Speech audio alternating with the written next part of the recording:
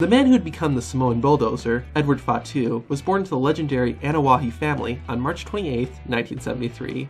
Growing up in a family of wrestlers made it natural for Umaga to give professional wrestling a try. After completing his training and competing in his uncle's company, Umaga found his way to the WWE and debuted in 2002.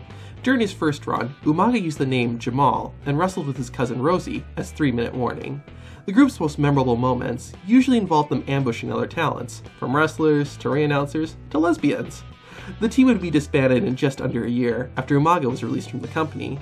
After that, Umaga would wrestle for the next few years in companies such as TNA and All Japan Pro Wrestling before being signed again by WWE in December of 2005. Roughly four months later, on the Raw after WrestleMania 22, we would witness the debut of Umaga. While Ric Flair was in the ring giving a response to his loss the previous night, a man named Armando Alejandro Estrada interrupted. The businessman from Cuba told Ric Flair that the Nature Boy's days were over and it was time for a change. Then came out the Samoan bulldozer, Umaga. He destroyed Ric Flair and left the 57 year old wrestler demolished in the ring. While he didn't have a match during his debut, that would change the following week, as Umaga would step into the ring officially to demonstrate his awesome strength. Before the Samoan made his entrance, Armando Estrada was in the ring and hyped up the debut match of Umaga. The first thing fans noticed was Umaga's change in hair. The Samoan bulldozer had braided it, and this would be the look he would use for the rest of his career. Umaga didn't even wait for the bell to be run and went straight for his opponent, which was a local competitor named Chris Guy, who you may know better as Colt Cabana. After the initial attack, Umaga set up his opponent in the corner and performed the move that would be known as the Samoan Wrecking Ball. The assault on Chris Guy continued with a diving headbutt from the middle rope. While he could have probably pinned the man there, Umaga decided to take the submission victory. He jammed his thumb into the side of Chris Guy's neck and left it there until the referee had to call for the bell. It's your typical squash match, but I like that they had Umaga win using a submission move instead of just having him perform a standard big guy finisher. Also, the fact that his debut opponent was Colt Cabana makes for an interesting piece of trivia. Umaga went on to beat Ric Flair in their feud and began an undefeated streak, defeating other big name wrestlers like Shawn Michaels and Triple H. Finally, though, you guessed it, it was John Cena who was the first person to pin Umaga in 2007. Despite this, the Samoan Bulldozer would still be a major player in the company. He became the representative for Vince McMahon, and his rivalry was some guy named Donald Trump, you know. He also picked up the Intercontinental Championship and won the title a second time in the same year. In 2008, Umaga would be drafted to SmackDown, but would tear his PCL in August and wouldn't be seen for the rest of the year. He returned at the start of 2009, but would disappear until May when he would attack CM Punk, preventing him from cashing in the Money in the Bank contract. Obviously, the two eventually squared off in a match that Umaga won at Judgment Day. The Samoan Bulldozer wasn't so fortunate in their second confrontation and fell victim to the GTS.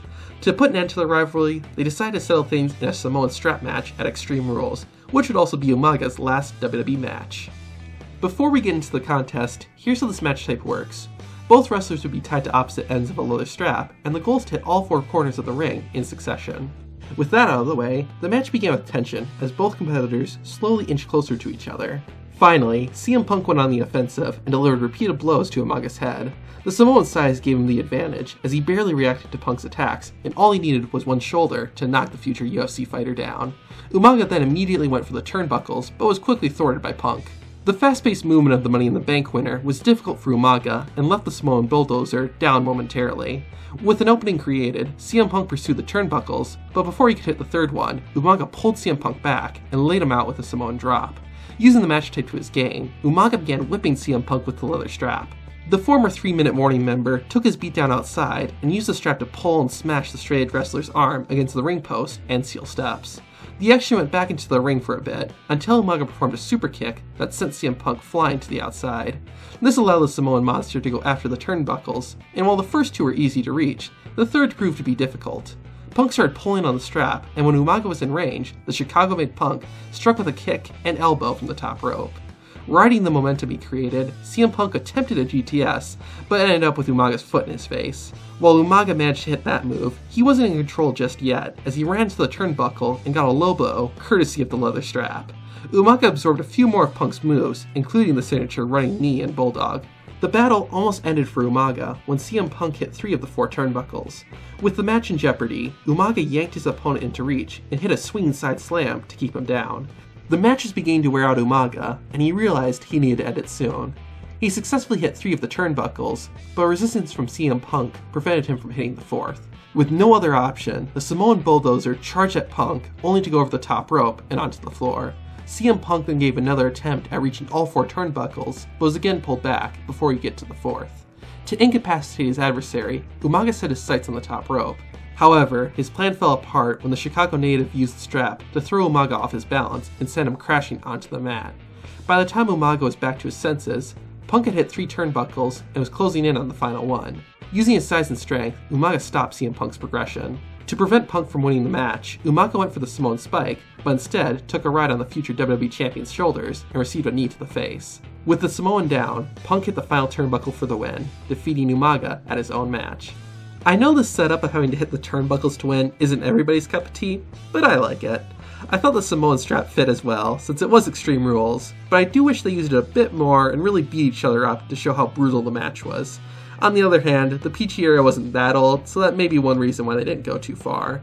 As a final match, it wasn't terrible, but not ideal. But then again, how often do you see a wrestler have an ideal final match in WWE? For what it was, I don't think it was all that bad of a way to leave the company. Also, what a coincidence that Umaga's first WWE opponent was Colt Cabana, and his final one was CM Punk, since the two are so closely tied together. The day after this match, Umaga would be released from WWE due to a wellness violation and refusing to go to rehab. He would compete on the independent circuit for a short while until sadly passing away on December 4th, 2009, due to a heart attack. While Umaga was only in WWE for roughly three years, I felt like he had a solid run. The mindless powerhouse monster has been done before, but I felt like Umaga's small tweaks made it fresh. Before Luke Harper was, well, Luke Harper, he was a guy from Rochester, New York named Jonathan Huber. At the start of his career, Harper wrestled inside of a martial arts studio in front of his friends and family. As time moved on, he continued to train and get better, which led to bigger opportunities. By the late 2000s, Luke Harper was wrestling for companies such as Chikara, Dragon Gate USA, and Ring of Honor. While things were going well, Harper's career took a huge step forward when he got offered a contract with WWE in 2012. He was sent down to developmental and began his training for the main roster. The same year he joined WWE, Harper would also have his debut match in the company, the November 7th, 2012 episode of NXT would mark the official start of the WWE career of Luke Harper. After returning from a commercial break, Kurt Angle's kayfabe son, Jason Jordan, was in the ring, ready for a match. Next came someone who would be synonymous with Luke Harper's WWE career, Bray Wyatt. The future Fiend rambled for a bit on the mic until Jason Jordan cut him off and told Wyatt he was here to fight. The new face of fear responded by giving Jordan just that and without any warning, Luke Harper entered the shot and marched towards the ring. Harper, who hadn't been given a name yet, immediately charged at Jason Jordan, and the contest began. The backwoods brawler struggled at first with Jordan's speed, but obtained control after preventing a drop toe hold. Living up to his nickname, Luke Harper attacked his opponent with punches, chops, and uppercuts. To show how vicious he was, Harper also pulled and raked the eyes of the future American Alpha member. Luke Harper got a bit more polished with his offense when he hit a discus clothesline, a move that had become a signature of his. When that didn't work, Jason Jordan attempted to change the tide of the match, but all that did was set him up for a sit out spinning side slam for the three count. After the bell had run, Bray Wyatt revealed Harper's name and that he was the first son of the Wyatt family. Honestly, I think this is a pretty good debut. I like that Luke Harper immediately had a backstory, and being a part of the Wyatt family gave him some character. I thought the match itself made him look like a strong force, especially since Jason Jordan wasn't some no-name jobber. Honestly, not a bad debut, and even going back now, I still want to know more about his character and see what happens next, so let's do that. Soon after making his debut, Harper would be joined by Eric Rowan, turning the Wyatt family into a trio. Like many dominant tag teams, they'd become NXT Tag Team Champions in May of 2013. Around that same time, promos began airing on Raw and SmackDown that the Wyatt family was coming to the main roster. Luke Harper, along with Rowan and Wyatt, would make their Raw debut in July and began feuding with Kane. During his first year on the main roster, Harper mostly tagged with Eric Rowan, and the two had remained undefeated until October of 2013. In 2014, the two Wyatt family members would challenge the WWE Tag Team Champions, the Usos, to a handful of unsuccessful title matches. That same year, both Harper and Rowan would break away from Bray Wyatt and became singles competitors. Things seemed promising for Luke Harper when he won the Intercontinental Championship in November, but before the year was even over, he had already lost it. 2015 didn't start off much better for Harper. He competed at WrestleMania 31 for the IC title, but failed to win. He also had a rivalry with Dean Ambrose, which he likewise lost. Things didn't really pick up till he got back with Bray Wyatt and eventually the rest of the Wyatt family. The remainder of 2015 went alright for Luke, but in early 2016, he'd be sidelined with a knee injury. When he returned, Harper was once again back with Bray Wyatt, as well as Randy Orton. The group would win the SmackDown Tag Team titles of the 2016 TLC pay per view, only to lose them 23 days later. Tension soon began to build in the group, and Luke Harper ultimately left the Wyatt family, turning face for the first time as a result. Following this, Harper would suffer losses from both Randy Orton and Bray Wyatt in singles matches. After WrestleMania 33, though, he would defeat a returning Eric Rowan at Backlash. From here, Luke Harper's career started to become kind of quiet until he completely disappeared midway through 2017. But things turned around in November when he returned with Eric Rowan, now as allies again. Only this time, there's no Bray Wyatt in sight. Instead, they went by the name the Bludgeon Brothers, and did pretty well. They destroyed many of the tag teams put before them, and it all built up to them winning the SmackDown Tag Team titles at WrestleMania 34. Unlike his two previous championship reigns, Harper and his fellow Bludgeon brother would hold the belts through SummerSlam, ultimately losing them on the August 21st episode of SmackDown. After their championship run was over, Rowan was put on the shelf due to injury, and Harper took the opportunity to undergo wrist surgery. He returned during the Andre the Giant Memorial Battle Royal at WrestleMania 35, and also performed on the Worlds Collide special. Shortly after this, it was reported that Luke Harper had requested his release from WWE, but was denied. We wouldn't see the former Bludgeon brother until September of 2019, when he returned to help out Eric Rowan. The two briefly reunited their tag team, but were separated not long after, due to the draft. Luke Harper remained on SmackDown, while his partner was moved to Raw. It ended up not really mattering, as Luke Harper would have his final match shortly thereafter, which, ironically, took place on Halloween of 2019 at Crown Jewel. During the kickoff show for WWE's fourth Saudi Arabia event, a 20 man battle royal was held, with the winner becoming the number one contender for the US Championship. Luke Harper was amongst the cluster of wrestlers looking to earn an opportunity at the red, white, and blue title. To gain an advantage, he worked alongside his former ally, Eric Rowan, and together they went after Sunil Singh. Only a few seconds into their attack, and Harper changed his attention to Heath Slater, and shortly after that, he changed his target to Brian Kendrick. Eventually, Eric Rowan came over to help Harper take out the cruiserweight. They were doing a pretty good job, but then just kind of stopped halfway through and split up again. Harper spent a short time with Cedric Alexander before moving on to Eric Young. EY proved to be difficult and actually wore down Luke Harper. Even after the former TNA star left him, Harper was then attacked by R-Truth. Once he had some time to recover, Luke Harper came to the aid of Eric Rowan by throwing both Brian Kendrick and Eric Young up for the top rope. With two eliminations under his belt, Luke Harper focused on another cruiserweight, Akira Tozawa. Like before, Harper just kinda gave up with Tozawa and moved on to Apollo Crews, Shelton Benjamin, and No Way Jose. The Bludgeon Brothers reunited for about 10 seconds as they tried to eliminate Cedric Alexander, but like before, they just stopped trying and Harper focused on Akira Tozawa again. After an ad break, Harper and Rowan went to the center of the ring and stared each other down. No Way Jose interrupted with some dancing, which Harper responded to with a discus clothesline, followed by Rowan throwing the man over the top rope. The former Wyatt members locked eyes a second time, but were once again interrupted, this time by Akira Tozawa. Eric Rowan grabbed the Japanese wrestler and set him on top of a turnbuckle, allowing Harper to superkick the 205 Live star out of the ring. Cedric Alexander was the next to feel the wrath of the former Bludgeon brothers, followed by Apollo Crews. The Backwoods Brawler then laid low for a little while and got back into the action when the number of bodies in the ring had decreased. He focused his energy on a hurt Cedric Alexander as the crowd started chanting, Let's go Harper. It sounds like the WWE Universe here in Riyadh are rallying behind Luke Harper. Once again, Rowan and Harper got together and ultimately eliminated the Queen City's favorite son, leaving only them and Humberto Carrillo. Harper and Rowan almost broke out into a fight, but an attack by Carrillo got them back on the same page. Once the luchador was down, Eric Rowan directed Luke Harper to eliminate Humberto. Harper then went to do just that, but was double crossed by his former tag team partner, who in turn was quickly eliminated by Carrillo, and thus the match came to an end. I'm assuming nobody knew this was going to be Luke Harper's final WWE match, so with that in mind, I think they did a pretty good job. It was very fitting that Luke Harper would work with Eric Rowan in his last appearance, since they have so much history together. One issue I had though was that they would start working together and then just walk away from each other. It wouldn't be so bad, but they have that stare off towards the end, which is odd because they'd just been working together multiple times. Besides that, I thought it was good. I like too that Luke Harper did a lot in the match. It wasn't just another body solely there to fill up the ring. Could Harper's final match have been better? Yes but it could have also been way more underwhelming, so I'm content with this being the way he leaves WWE. On that note, Luke Harper would appear at a few untelevised events in November, but wasn't seen on TV at all. Finally, on December 8th, he was officially released from the company and is currently under a 90 day no compete clause, which will expire in March of 2020. While I wouldn't say Luke Harper's WWE run was terrible, it certainly had its bumps. It seemed like he was never able to break away from the Wyatt family. Even when he was a part of the Bludgeon Brothers, he was still tagging with Eric Rowan. With that said, he seemed to do alright when he was a part of a group. The Wyatt family was a really cool faction, and Luke Harper played his role perfectly.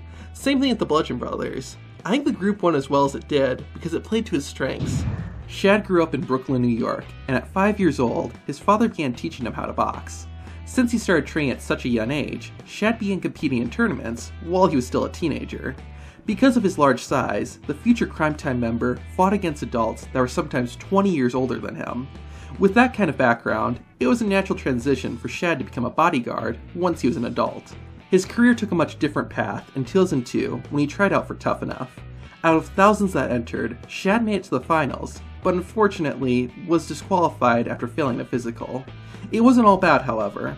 He was recruited by WWE talent scout Tom Pritchard and began training in WWE's development promotion, OVW. After spending a couple of years there, Shad finally got signed by WWE in 2005, and it wouldn't be long before the 6'6 wrestler made his debut on the main roster. In 2006, Gaspard joined forces with the Neighborhoodie, who would later be known as JTG. They clicked, and in September of the same year, promos began hyping their debut on the main roster. Then, finally, October 16th, 2006, after over four years of work, Shad Gaspard would have his first match in WWE. After issuing a non title open challenge, the World Tag Team Champions, the Spirit Squad, entered the ring. As you can probably guess, it was Shad and his partner JTG that answered the call. Once things settled down, Johnny and Mikey became the legal participants for the Spirit Squad, while JTG kicked off the match for Crime Time. After wearing down Johnny, JTG tagged in Gaspard, who mowed down the green panned wrestler with a massive shoulder. JTG immediately tagged back in, but thanks to some fast thinking, the Spirit Squad began taking over. Johnny and Mikey started laying into the shorter member of Crime Time, but JTG held on. When an opening presented itself, JTG took it, and Crime Time and Spirit Squad faced off again the next week, with Shad and JTG gaining a second win. Despite beating the tag team champions twice, Shad's team never received a title match. However, at New Year's Revolution, Crime Time participated in and won a tag team turmoil match, which earned them a shot at the belts. Sadly, Crime Time never received their match. While they may not have been able to shine in the ring as much, Shad and JTG did get plenty of time to show off their personalities.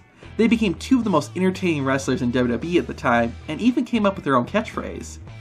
Cause yo, we like to make that money, money, yeah, yeah. that money, money, yeah, yeah. In September of 2007, both Shad and JTG would be released from WWE, but they weren't gone for long. Crime Time returned six months later and received a massive push. They formed a faction with John Cena, aiding him during his feud with JBL. Gaspard and JTG also began feuding with the World Tag Team Champions, Ted DiBiase and Cody Rhodes. While they would receive a championship match, Crime Time was unsuccessful in their attempt. The duo then moved on to a feud with John Morrison and The Miz. In addition to competing in the ring, the teams also competed for the best online show, The Dirt Sheet or Shad and JTG's Word Up. To give you an idea of how popular this rivalry became, at Cyber Sunday, fans voted to see Crime Time vs. Morrison and Miz over a World Tag Team Championship match. While Shad and JTG would score a few wins over the Dirt Sheet duo, Crime Time ended the feud in defeat when they lost to Jomo and the A-lister in early 2009. Later in the year, Shad, as well as JTG, got drafted to SmackDown, where Eve Torres would join the two. Their first feud on the Blue Show was with the Hart Dynasty. While the teams traded wins and losses, Shad's side ultimately won when they beat D.H. Smith and Tyson Kidd to become number one contenders for the tag team titles. Crime Time received their championship match at SummerSlam, but despite an impressive showing, it wasn't their night. Unfortunately, this is also the beginning of the end for Crime Time. Gaspard and JTG were both supposed to compete at bragging rights as part of Team SmackDown, but due to health concerns involving Shad, they were replaced. For the rest of the year, and into 2010, the duo didn't do a whole lot, besides participating in some number one contenders matches that they lost. With the team becoming stale, it was time for a change. On the SmackDown after WrestleMania 26, Crime Time faced off against John Morrison and R Truth. The match lasted a total of 44 seconds, with the latter team getting the win. After the pinfall, JTG checked in on his partner. Shockingly, Shad assaulted the man he had tagged with for over three years. Gaspard later explained his actions, claiming that JTG was standing in his way, and it was his time now. With his crime time days behind him, Shad began sporting a new look and entrance music. After weeks of unsanctioned brawls, Gaspard officially came face to face with his former friend at Extreme Rules. While Shad wasn't the victor that night, he redeemed himself a few weeks later when he beat JTG on an episode of Superstars. Unfortunately, Shad's run as a singles competitor was never fully realized, as his final match in WWE arrived on May 14, 2010. In his home state of New York, Shad walked down the entrance ramp one last time. His opponent was a local competitor named Jesse Guyver, who you may know better as the Blade in AEW. Gaspard started the match by using his size to intimidate his opponent. Shad's plan didn't quite work out, as Guyver's fight response was activated, but Gaspard shut down pretty quickly. The former Crime Time member continued to viciously attack his adversary by taking him down to the mat and eventually strangling him in the ropes. Jesse Guyver attempted to make a comeback, but Shad countered and hit the STO for the win. Adding insult to injury, Gaspard got in Guyver's face, even after the bell had run. Shad's final WWE match, unfortunately, doesn't have a whole lot to it. It was a squash match, made to make him look good, and it did the job. Shad didn't get released from WWE until November of 2010, so I don't think anybody knew that this is going to be how he left the company. With that said, I kind of wish his match with JTG would have been his last, since that would be a good way of tying his WWE career together. However, it was nice they got to leave after a match that highlighted his strengths and also had his hand raised at the end of it. Now let's see where Shad's career took him after this. For one reason or another, Gaspard went to WWE's development system at the time, FCW, he spent a few months there until being released from his contract in late 2010. After WWE, Shad continued to wrestle on the independent circuit while also developing his film career. He appeared in a number of movies and TV shows, both on camera and as a stuntman. He even provided motion capture for a couple of video games and worked on a graphic novel. Besides playing and creating heroes, Shadow is also a hero in real life. In 2016, while at a gas station, Shad stopped an armed robber and subdued him until police arrived. This makes his passing all the more sad. On May 17, 2020, Gaspard was swimming with his 10 year old son in Venice Beach, California. They got caught in a strong rip current, and Shad was taken under. A search by the Coast Guard yielded no results, and after missing for a few days, Gaspard's body washed ashore. Something that really speaks to Shad's character is that when lifeguards came to rescue Shad and his son, he instructed them to save his child first. There's a lot of stories of terrible people in wrestling, and while I've never met Shad Gaspard, he seems like one of the good guys. Chris Benoit began his training when he was just a teenager in Calgary, Alberta, Canada. He got trained by both Stu Hart, the father of Bret Hart, as well as Stu's other son, Bruce Hart. Benoit was trained in the Hart family dungeon, which was located in the basement of Stu Hart's home. Once Chris Benoit finished high school in 1985, he made his professional debut performing Stu Hart's own promotion, Stampede Wrestling. Benoit took inspiration from Dynamite Kid, one of the wrestlers he idolized the most. In 1986, Benoit continued his training in New Japan Pro Wrestling and made his debut in that promotion the same year. Back in Canada, Chris Benoit remained a part of Stampede Wrestling, but in 1989, the company shut down. However, that wasn't the only thing that changed for Benoit. Back in New Japan, Benoit, who had just been wrestling under his real name, changed his persona to that of the masked performer, the Pegasus Kid. Around this time, Chris Benoit started to really shine, as he began to have more critically acclaimed matches. This helped him get opportunities to perform, not just in Japan, but all around the world. In 1994, Benoit found himself in ECW. There he got the moniker of the Crippler, largely due to accidentally breaking the neck of Sabu. Benoit didn't stay in ECW for too long, as in 1985, his work visa expired and he was forced to leave. But Benoit wouldn't spend too much time outside of the US, because later that year he would sign with WCW.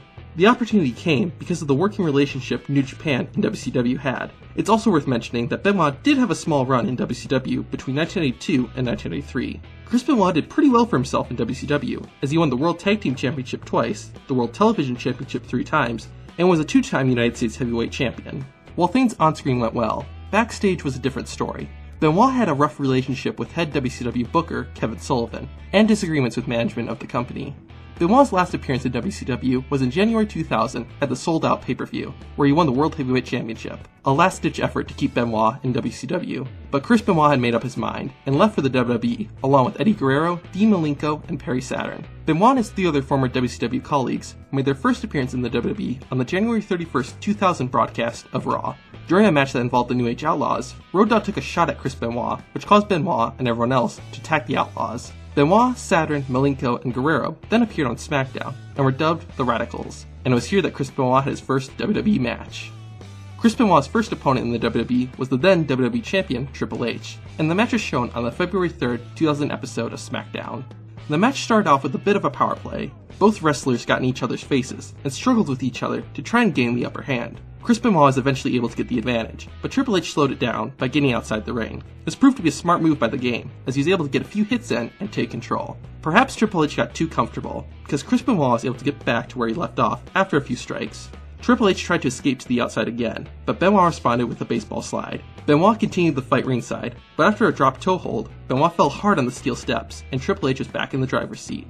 The game got Benoit back into the ring and continued to wear him down, Chris Benoit and Triple H would go back and forth for a bit, with neither one being able to get a definitive advantage. But after a few punches to the head and a clothesline, Benoit was finally able to direct the match and hit some bigger moves. The fight looked to be finished when Chris Benoit started climbing the top rope, but Triple H pulled the referee into the ropes, causing Benoit to lose his balance. This gave Triple H the chance to hit a superplex, which knocked the wind out of the crippler. The cerebral assassin tried to end the match with a pedigree, but Benoit countered and accidentally shot Triple H into the referee. Chris Benoit locked in the crippler crossface and even got Triple H to tap out, but due to the referee being down, the bell was not run. Benoit locked in the crossface again, but Triple H was able to cause a rope break. With victory so close, Chris Benoit climbed to the top rope and hit a diving headbutt. However, the referee was still hurting, which caused a slow count and gave enough time for Triple H to kick out. Triple H used the referee's drowsy state to hit a quick low blow and followed up with a pedigree, which got him the victory. While a tough match, it looked as though Chris Benoit would have been able to defeat the game had it not been for the issue with the referee. With Chris Benoit's debut match done, let's continue. Despite starting out as opponents, Chris Benoit and the rest of the Radicals would join Triple H. Benoit would win his first championship in WWE about two months after making his debut, when he beat Chris Jericho and Kurt Angle at WrestleMania 16 to claim the Intercontinental Championship, a title he would hold three more times. In 2001, he would win the tag team titles with Chris Jericho. Benoit would also win tag team championships with Kurt Angle and Edge.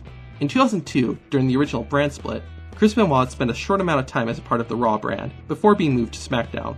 While Benoit did a lot on the Blue Show, one of his biggest moments came when he won the 2004 Royal Rumble. This led to him winning the World Heavyweight Championship in the main event of WrestleMania 20. In 2005, Benoit pursued the United States Championship and ultimately won the title at that year's SummerSlam and would go on to be a three time champion. Chris Benoit spent a significant chunk of his WWE career on SmackDown, but in 2007, Benoit would be drafted to the ECW brand, and where he would have his last match in WWE.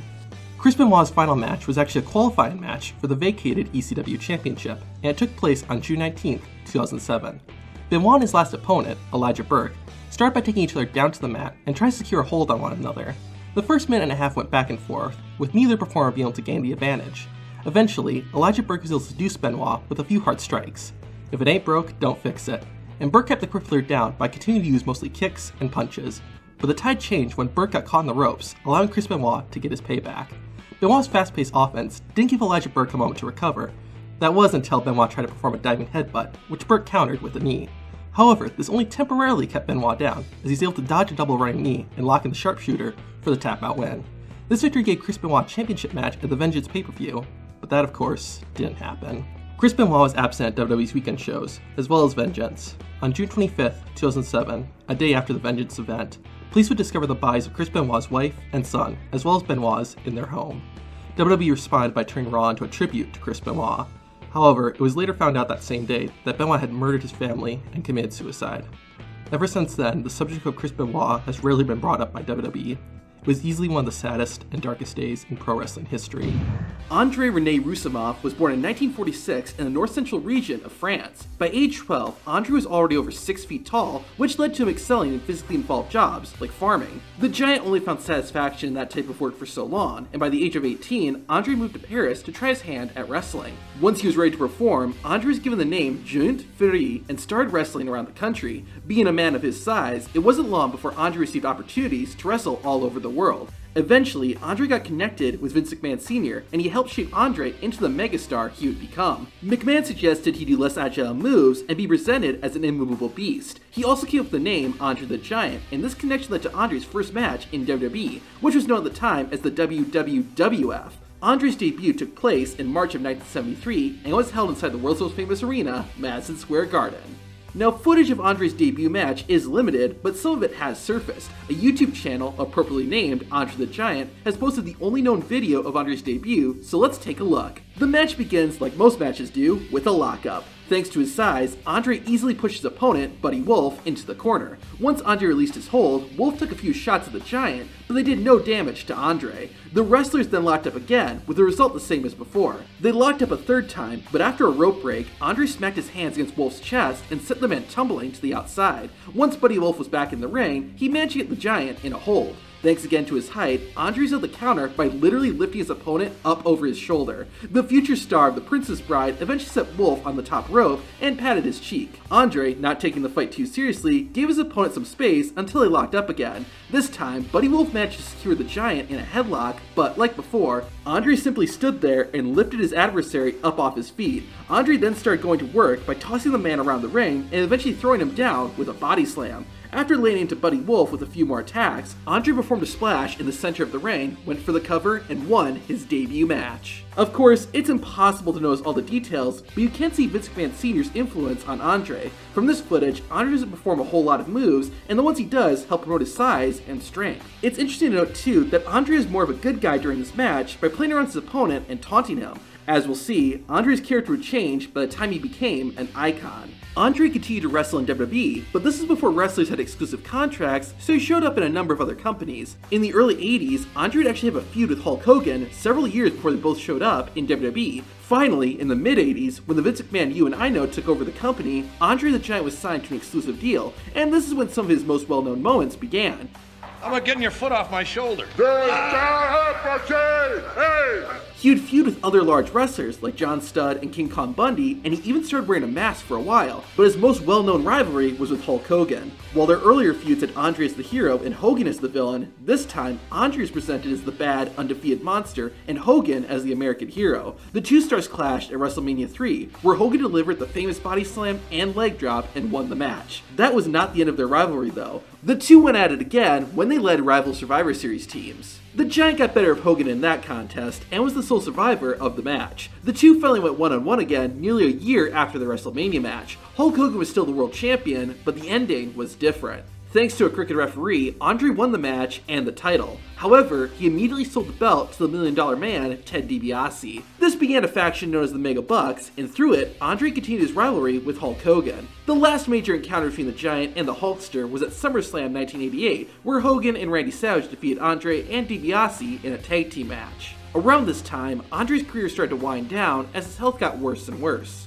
Towards the end of his WWE career, Andre would also have feuds with Jake the Snake, Jim Duggan, and Ultimate Warrior, and would eventually team up with Haku and Bobby Heenan as the Colossal Connection. The group found success in late 1989 when they won the tag titles from Demolition. The two teams would continue battling against each other, and their rivalry culminated at WrestleMania 6, which would also be Andre the Giant's last match in WWE. Unfortunately, Andre's final performance in WWE was pretty low key. He and Haku didn't get an entrance, even though they were the champions. Anyways, after the Colossal Connection's introduction, their opponents, Axe and Smash, made their way into the ring. When both members of Demolition had their backs turned, Andre and Haku went for a sneak attack, with Andre going after Axe. The Giant gave a chop and a headbutt to the face panned wrestler, and also gave a leg kick to Smash before heading to his corner of the ring. Haku started as the legal man for the Colossal Connection as Andre watched on. It didn't take long for Demolition to take control of the match, and seeing his partner in trouble, the Giant entered the ring. He gave a quick strike to the back of Axe, but it didn't do much as Demolition made a fast recovery and kept up their assault.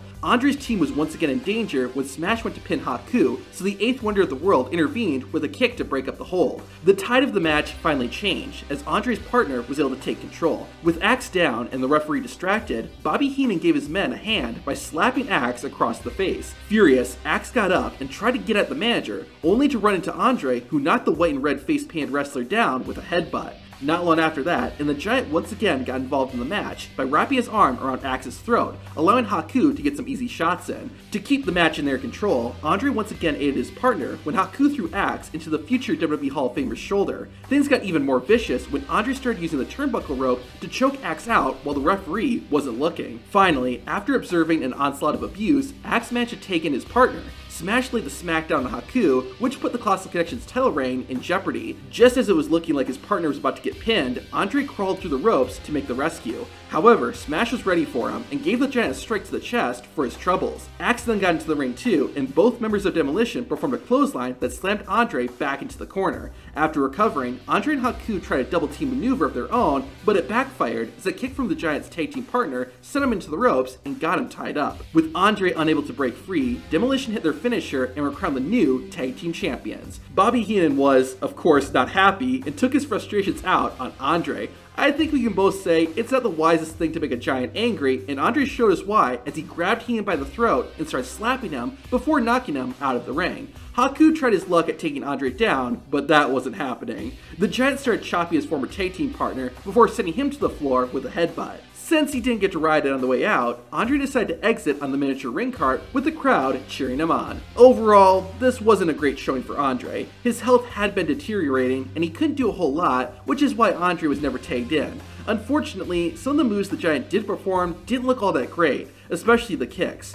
However, I think they did alright with Andre's limited involvement. He provided a decent amount of interference during the match, so it didn't feel like he was just standing there, and his post-match assault didn't look all that bad either. On top of that, the crowd was into the match and gave a loud response when Andre turned on his teammates. But it wasn't an ideal final match for such a megastar like Andre the Giant.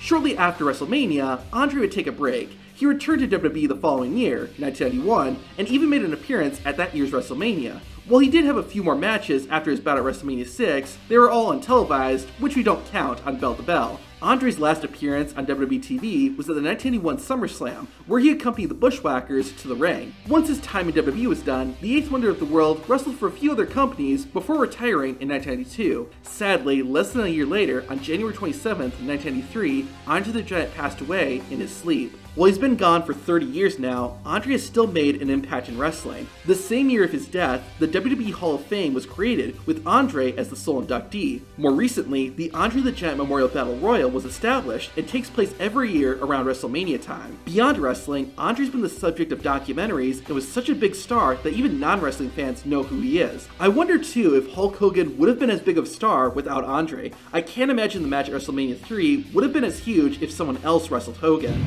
There, isn't too surprising that Bray Wyatt became a WWE wrestler. Both his father and grandfather wrestled for the company, so wrestling was already in Wyatt's blood. Despite that, Bray Wyatt wasn't planning on becoming a wrestler, instead attending college on a football scholarship. However, in the middle of his education, Bray decided to drop out and change careers by following in the footsteps of his father and entering the world of wrestling. Bray Wyatt didn't go into it alone, as he was joined by his younger brother, Bo Dallas. They started their training at WWE's development system, FCW, in 2008. Wyatt had his first ever wrestling match in early 2009 and had performed under the name Duke Rotundo, Rotundo being a reference to Bray Wyatt's real name, Wyndham Rotunda. He spent over a year in development before getting his shot in WWE. On season 2 of NXT, Wyatt was one of eight rookies competing to become the next, quote, breakout star. Bray was renamed Husky Harris and paired with Cody Rhodes. The same night he debuted on the main roster, the future Bray Wyatt had his first WWE match.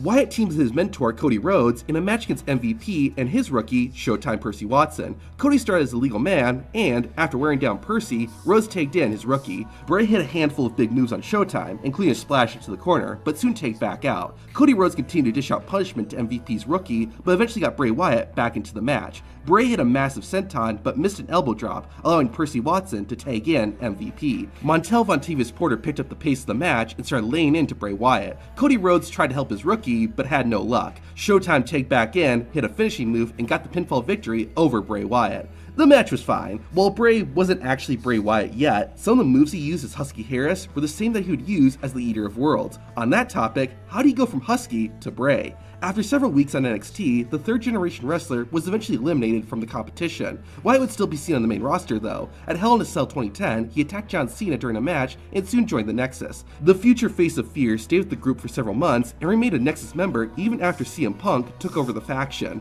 Wyatt's first run on the main roster came to an abrupt end though, when Punk started feuding with Randy Orton. Bray, Husky Harris Wyatt, as well as the other Nexus members, would aid CM Punk, which ended up giving Wyatt a punch kick to the head. This was used to write Bray off TV so he could be sent back to development to train further. During this time, Bray Wyatt dropped the Husky Harris character and developed a new, darker persona. This new character became known as Bray Wyatt, a creepy cult leader, and debuted in FCW in 2012. Shortly after Bray's debut, FCW had come to an end and NXT became WWE's new development system. Bray Wyatt moved over to this new brand and promo videos started airing on the show. These gave fans insight into who Wyatt was and ultimately built to Bray Wyatt's first official match as Bray Wyatt. Before the ring announcer could introduce him, Bray Wyatt already had a mic in his hand. He described himself to fans as the Angel in the Dark and that they'd be finding out more about him soon. Wyatt's debut match was against future vaudevillain Aiden English, who was NXT's resident enhancement guy at the time. Bray's first move was to kick English in the gut and wear him down. The action went to the floor, where the cult leader continued to dish out punishment and smiled as he did it.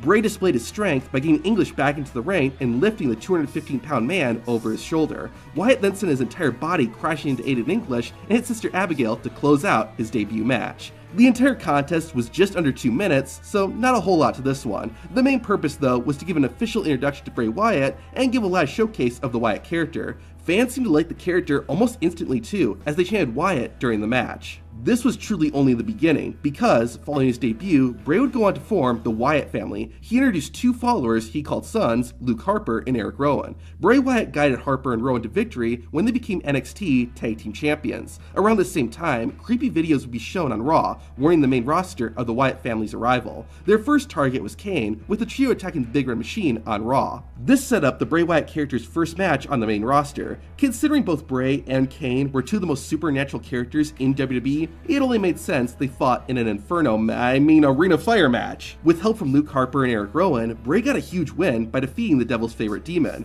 Wyatt continued to destroy the WWE roster, picking up wins over mainly smaller names. The Wyatt family then moved on to a rivalry with CM Punk and Daniel Bryan, which began after Luke Harper lost a match to Punk. Despite the Wyatt's dominance, the best in the world and the GOAT out wrestled the family on multiple occasions. Things changed though when Bray and his followers singled out Bryan. After multiple beatdowns, Daniel Bryan gave in and became the fourth member of the Wyatt family. It turned out to be a bad acquisition though, because not only did the Wyatt family stop winning after Bryan joined, but when Bray went to punish him, Daniel turned on him and left the group. The Eater of Worlds got his revenge at the 2014 Royal Rumble by beating Daniel Bryan, although their paths would cross again years later. Later that same night, Wyatt, Harper, and Rowan attacked another major star, John Cena. Bray later explained that he wanted to show that Cena's heroic characteristics were fake, and his intentions were to change the face of WWE into a monster. At WrestleMania 30, Bray and Cena went one on one, and despite interference from the Wyatt family, John Cena stood triumphant and became the first person to pin the new face of fear.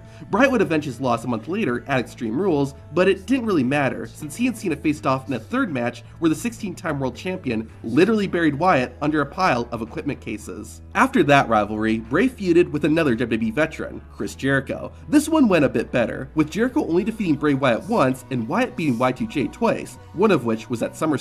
After this, the Wyatt family broke up after Bray set Luke Harper and Eric Rowan free. This meant for the first time in his WWE career, Bray Wyatt was a singles competitor. His first solo rivalry started at Hell in a Cell 2014. Bray interfered in a match between Dean Ambrose and Seth Rollins, causing Ambrose to lose. This began a feud that continued through the rest of 2014 and ended in early 2015. Out of the five matches Dean and Bray had, Wyatt won four of them, which was a nice comeback after his two previous rivalries with Cena and Jericho. After his successful feud with the Lunatic Fringe, Bray Wyatt went after another legend, The Undertaker. At Fastlane, Bray officially challenged the Dead Man to a match at WrestleMania, which Taker accepted. Like the previous year, though, Wyatt fell victim to the Tombstone Piledriver and left the grand stage of the Mall in defeat. The next major rivalry for the Eater of Worlds was against Roman Reigns. Wyatt would cost Reigns the Money in the Bank contract, setting up a match at Battleground. Thanks to interference from Luke Harper, Bray Wyatt defeated the Big Dog and reformed the Wyatt family. Eric Rowan eventually came back too, as well as a new member, Braun Strowman. The revived Wyatt family picked up some wins, such as at TLC over the ECW Legends, but also had their fair share of losses, like against the Brothers of Destruction at Survivor Series, Dean Ambrose and Roman Reigns at SummerSlam, or against The Rock and John Cena at WrestleMania 32. In 2016, Bray's career hit a bit of a roadblock when he suffered an injury while WWE was touring Europe. He wasn't gone for long though, and once he returned, the Wyatts had a feud with the WWE Tag Team Champions, The New Day. The family beat the champs at Battleground, however, the tag titles were not on the line. Shortly after the big win, the group was split up, with Strowman going to Raw while Bray and Harper went to SmackDown. The split ended up being a great move for Bray Wyatt's career. He began a feud with Randy Orton when Wyatt called Orton damage. They were set to face off at Backlash, but Wyatt attacked the Before their match started, allowing Bray to win by forfeit. The two men with Ys at the end of their names went at it once more at No Mercy, where Wyatt won again thanks to help from Luke Harper. Despite their rivalry, Randy Orton surprised everyone by joining Wyatt and Harper and creating the third incarnation of the Wyatt family. They went after the SmackDown Tag Team Champions, Rhino and Heath Slater, defeating them at TLC. The group utilized the Freebird rule, making the SmackDown Tag Team Championship the first title Bray Wyatt won in WWE. The celebration was short-lived, however. Just a few weeks later, the Wyatt family lost the titles in a match where Luke Harper and Randy Orton were defending them. Tempers began to flare because of the loss, leading to a match between Orton and Harper. Randy won that match, causing Bray to attack Harper afterward and exile him from the group. Not long after winning his first championship, Bray Wyatt won another. At the 2017 Elimination Chamber, Bray outlasted five other men to win the WWE title. A massive accomplishment for a guy who used to be called Husky Harris. Randy Orton had won the Royal Rumble about a month earlier, but agreed not to challenge Bray. With his full trust, Wyatt gave Orton access to the Wyatt family compound.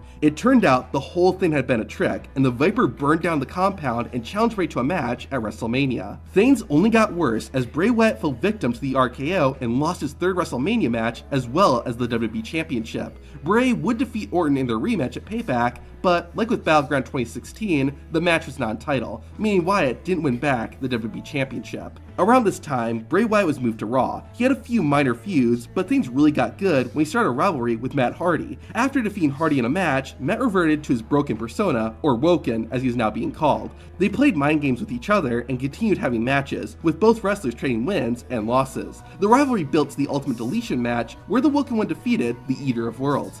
Afterward, Matt took the battle a step further and threw Bray into the lake of reincarnation. Wyatt wasn't seen again until WrestleMania 34 when he helped his former enemy win the Andre the Giant Memorial Battle Royal. Bray Wyatt and Matt Hardy were now working together, and soon after, they won the Raw Tag Team Championship.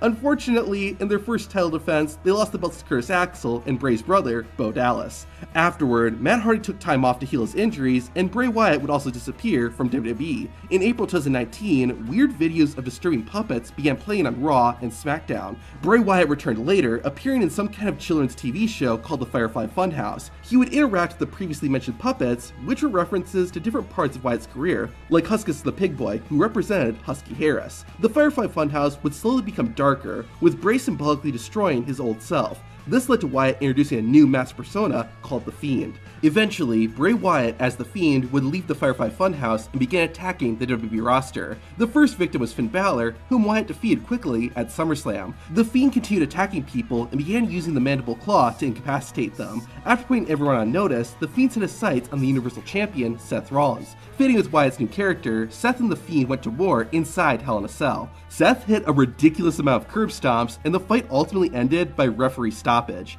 Wyatt and Seth went at it again at Crown Jewel, and this time, the Fiend beat Rollins and became the new Universal Champion. Following the victory, Bray had two different versions of the Universal Championship that he would use. The first was the normal belt that his Firefly Funhouse character would have. The other was a creepy black and red leather belt with his face in the middle. The Fiend's first challenger was actually an old rival, Daniel Bryan. Like Bray Wyatt did in 2014, the Fiend defeated Daniel, once at the 2019 Survivor Series and again at, ironically, the 2020 Royal Rumble. The Fiend's title reign was going well, only for it to end at Super Showdown. A returning Goldberg defeated the Fiend in 3 minutes and became the new Universal Champion. Shortly after becoming championshipless again, the Fiend confronted another old rival, John Cena, and challenged him to a match at WrestleMania.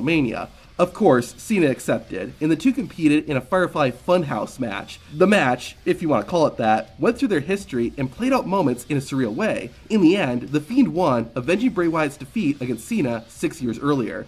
Hot off his WrestleMania victory, Bray Wyatt set his sights on another individual from his past, Braun Strowman, who is now the Universal Champion. Over the summer of 2020, Wyatt played a number of disturbing mind games, causing Strowman to change and bring out the monster inside him. After a few matches, they went one on one at SummerSlam, where The Fiend successfully defeated Braun to become a two time Universal Champion. However, if you haven't learned, Bray Wyatt's championship reigns never lasted long. Immediately after winning the title, a returning Roman Reigns attacked both The Fiend and Braun Strowman. This set up a triple threat match at Payback one week later. where Roman Reigns won the Universal title after pinning Strowman. The Fiend didn't try to regain his championship. Instead, he went back to Raw and bumped into another rival from Bray's past, Randy Orton. Over the course of several weeks, The Fiend would stalk and attack the Viper. This ultimately led to them facing off at TLC 2020 in a Firefly Inferno match. Since he burnt Bray's compound, the only way to top that was to burn Wyatt himself which is exactly what Orton did. For the next few months, Bray Wyatt wouldn't be seen, although his presence was still felt.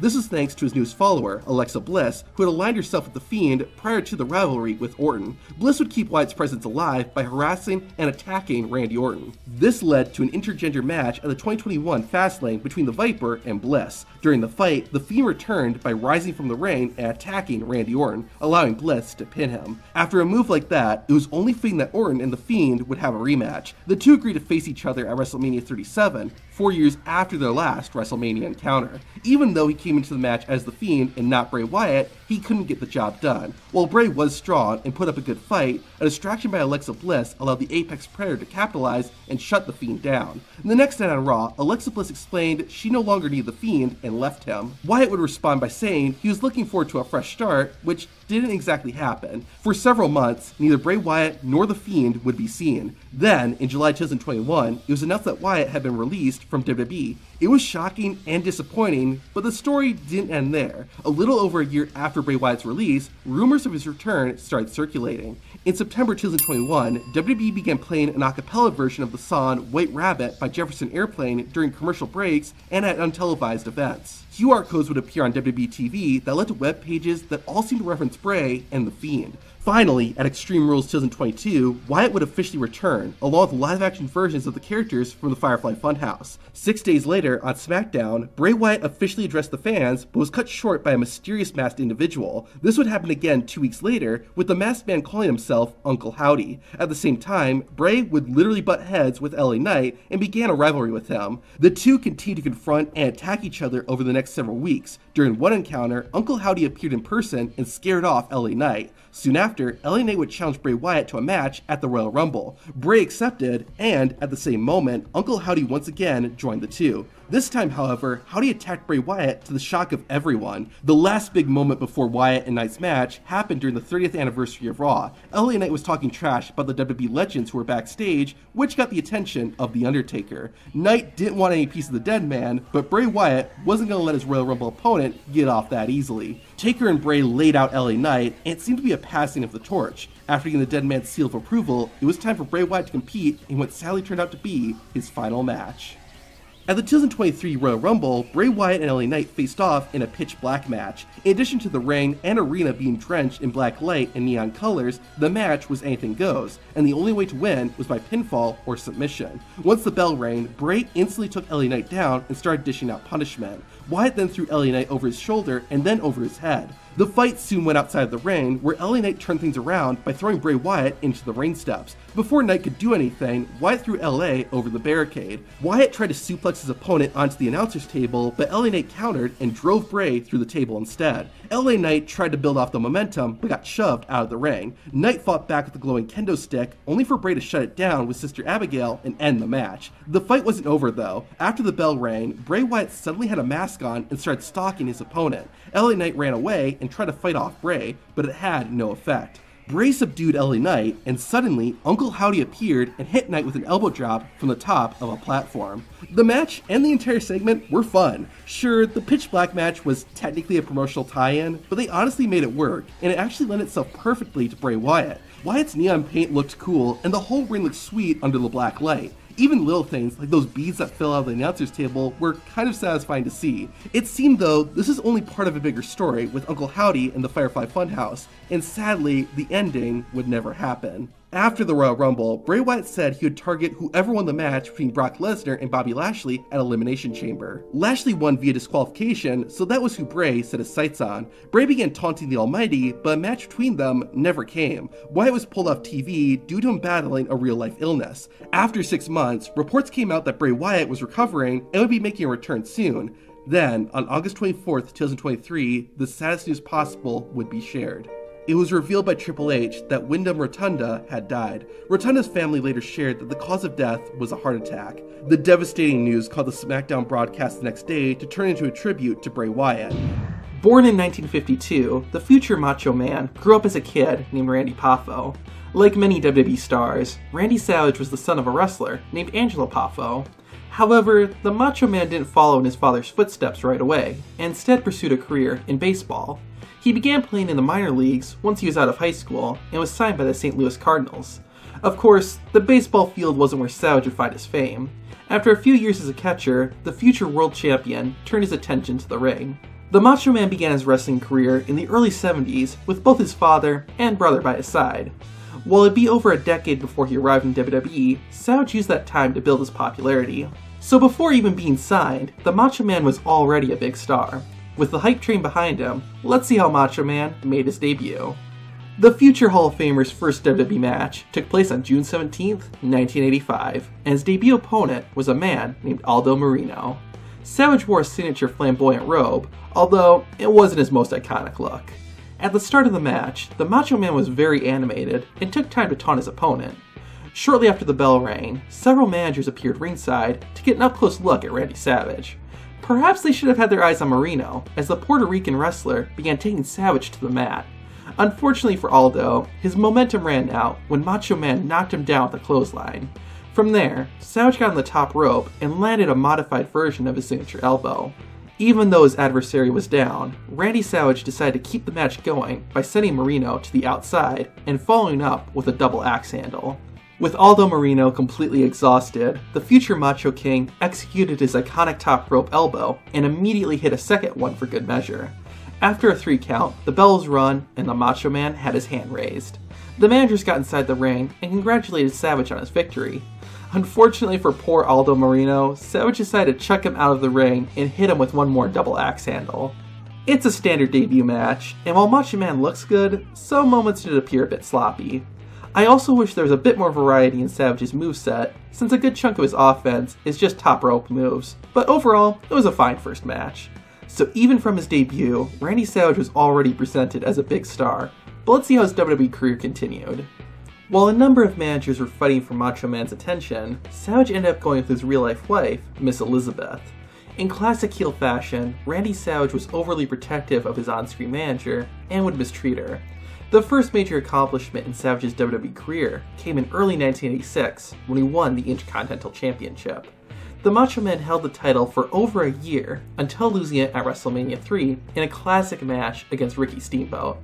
Despite losing the title, Savage's career only got bigger. He would win the King of the Ring tournament later that year and started becoming a fan favorite. This caused Macho to officially turn face when he began feuding with the Honky Tonk Man for the IC title. Their rivalry would also lead to the formation of the Mega Powers when Hulk Hogan ran in to save Savage from a beatdown by Honky and the Hart Foundation. Randy Savage and Honky Tonk's feud ended in early 1988, with the Macho Man failing to regain the Intercontinental Championship. However, something bigger was just around the corner. At WrestleMania 4, Savage participated in and won a 14 man tournament, resulting in him becoming WWE Champion. During his run with the world title, Savage continued to take with Hulk Hogan, and they would win several high profile matches. Tension formed in the Mega Powers in 1989 when Savage's heel character made a return. He would start getting into fights with Hogan, and later called the Hulkster an inferior wrestler, and accused him of trying to steal Miss Elizabeth. This caused the Mega Powers to break up and square off at WrestleMania 5, where Hulk Hogan defeated the Macho Man for the championship. After that, Macho Man would introduce Sensational Sherri as his new manager. Additionally, Savage began calling himself the Macho King after defeating Jim Duggan for the King of the Ring title. Upon adopting his royalty persona, Randy Savage feuded with the likes of Dusty Rhodes and the Ultimate Warrior, the latter of which led to a break in Macho Man's career. After building up a rivalry, Savage and Warrior faced off at WrestleMania 7 in a retirement match, which Macho Man lost. After being defeated, Sherri turned on Savage and attacked him. From the crowd, Miss Elizabeth ran in and came to Savage's aid, resulting in him becoming a face again. This ultimately led to Macho Man proposing to Elizabeth later that same year. During the wedding reception, Jake the Snake would ambush Macho Man and his new wife. Enraged, Savage campaigned to be reinstated. After months of build, the former world champ became an active wrestler again and successfully challenged and defeated Jake Roberts. Now back as an active wrestler, Randy Savage would begin a feud with the WWE champion, Ric Flair. This set up a match at WrestleMania 8 where Savage not only beat the Nature Boy, but also won his second world championship. Sadly, at the same time, Randy Savage and Elizabeth would separate in real life, which saw her disappear from WWE TV shortly after Macho Man's title victory. On top of that, Savage's WWE career also started to come to an end. He lost the World Championship back to Ric Flair in September of 1992 and also developed a short lived tag team with The Ultimate Warrior. The team ended abruptly when Warrior was fired from WWE, and by 1993, Randy Savage wasn't wrestling as often and began transitioning into a commentator role. This would start the beginning of the end for Macho Man's WWE career, and his final match began to take shape in July. After a WWE Championship match, Crush was attacked by Yokozuna. Macho Man eventually came to Crush's aid, but the 6'6 wrestler was still badly hurt. When Crush returned, he criticized Savage for not helping him sooner and attacked him. This built up to a Falls Count Anywhere match between both men at WrestleMania 10, and would be Randy Savage's final match in WWE. In front of 18,000 fans inside Madison Square Garden, the Macho Man walked inside a WWE ring for the last time. Savage decided to exercise the rules of the match and ambush Crush in the entranceway. Ironically, Crush rebounded and Macho ended up being the one on the floor. After wearing the black and white wrestler down, Crush covered him and got the pin, but the match wasn't over just yet. After getting pinned, a wrestler had 60 seconds to get back inside the ring. If they didn't, they would lose. Odd rules aside, Macho Man looked like he was gonna make it, but an attack by Mr. Fuji put that in jeopardy. Using all his strength, Savage beat the clock and kept the match alive. Crush picked up where he left off and continued to beat down the Macho Man and eventually set him up in the corner. While the referee tried to help Randy Savage, Crush filled his hands with salt. The tide of the match changed in an instant as Savage knocked the mineral into the eyes of the former Demolition member. Now back on his feet, Macho Man unloaded on Crush with a double axe handle and his famous elbow drop.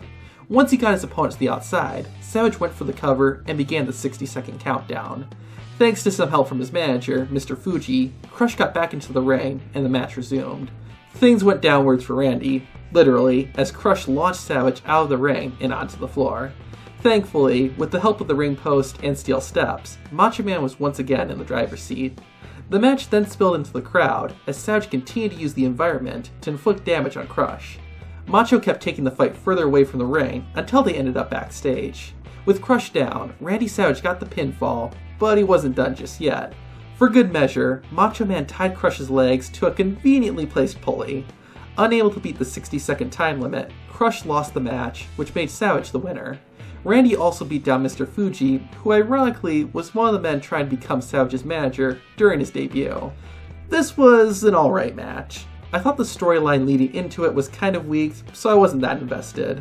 While it wasn't off the charts, the match itself held my attention, and I thought the finish was cool, despite the pulley falling after Macho kicked Crush.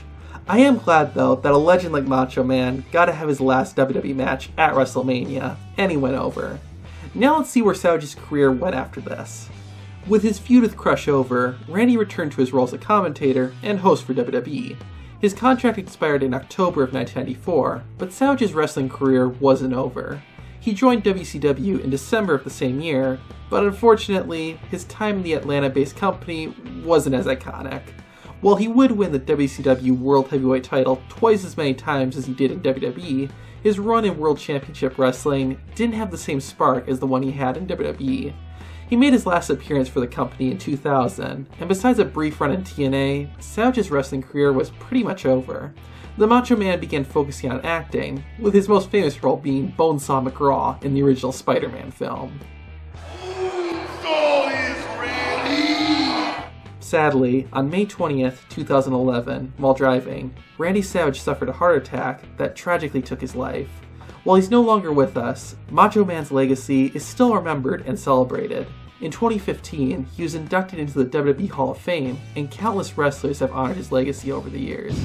The ninth wonder of the world was born in 1969 and grew up with two older siblings. In addition to moving several times during her childhood, Chyna was also raised by three different stepfathers and one stepmother. At age 16, the future WWE star began exercising and started entering fitness competitions after graduating from college. This got her introduced to wrestling, and she began training under the instruction of Killer Kowalski.